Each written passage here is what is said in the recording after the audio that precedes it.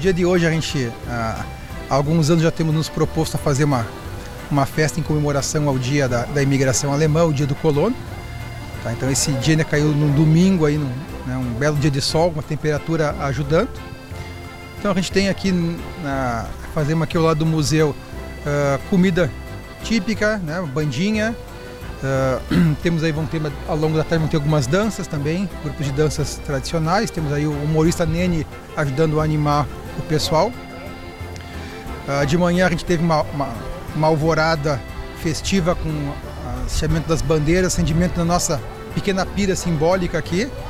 E conseguimos a dois tiros de canhões festivos, os Katzenkopf, que usavam em festas das comunidades uh, no interior. Né? Conseguimos fazer funcionar, isso foi já uma novidade para esse ano.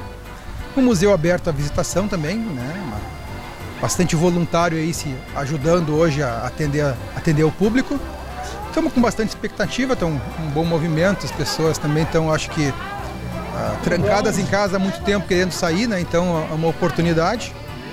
E hoje quem vier trajado, né, roupa típica, ganha um, ganha um brinde aí do pessoal né, museu. Eu acho que os desafios são os mesmos de sempre, né, que é manter, a, manter as coisas funcionando, a, a arranjar apoio, arranjar patrocínios, enfim, encontrar gente que se importa, né, no fim das contas é isso. Né.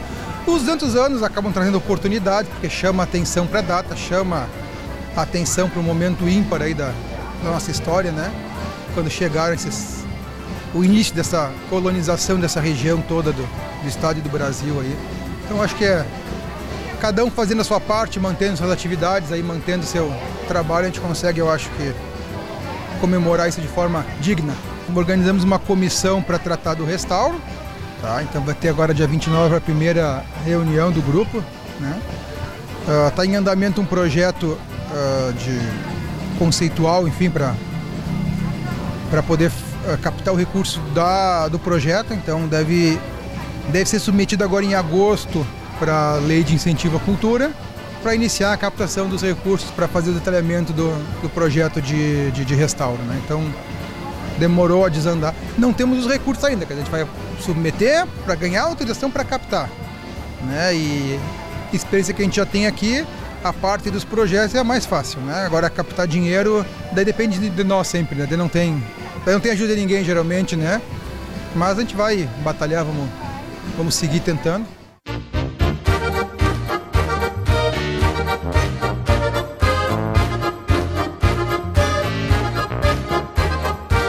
A gente está muito orgulhoso de poder estar tá fazendo essa festa hoje, é, como 200, é, como 197 anos da imigração alemã, dos primeiros que chegaram em São Leopoldo naquele 25 de julho.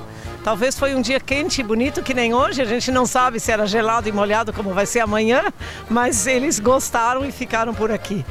Acho que tem muita gente aqui da etnia germânica, sim, mas também tem muitos outros. E como nós somos hoje uh, uma região que abrange desde Caxias, onde São Leopoldo ia até lá naquela época, o que hoje são 40 municípios, então nós temos todas essas etnias.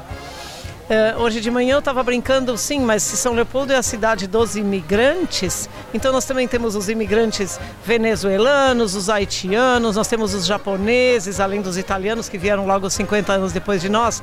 Nós temos que ter o dia para cada etnia ou é o dia da imigração?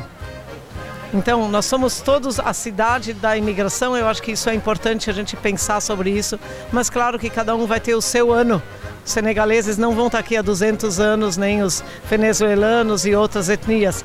Então cada um tem que fazer a sua festa, mas somos todos de fora.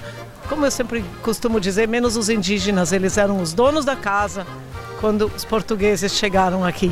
Então todos nós somos de certa forma imigrados por vontade própria ou não, como era o caso dos africanos, mas todos chegamos aqui e a maioria por necessidade. E isso a gente vê hoje que os alemães, no caso da nossa festa hoje, conseguiram com muito trabalho, fé, suor e acreditando no seu potencial fazer da cidade, do estado e do sul do Brasil, ou mais até, um país mais desenvolvido com essa mentalidade.